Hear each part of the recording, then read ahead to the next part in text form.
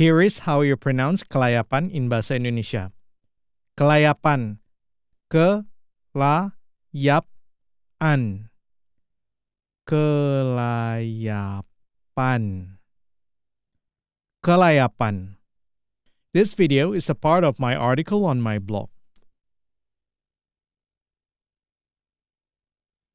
If you want to know the meaning of this word, go to the article because I explain it there. The link to the article is in the description below. Thank you very much.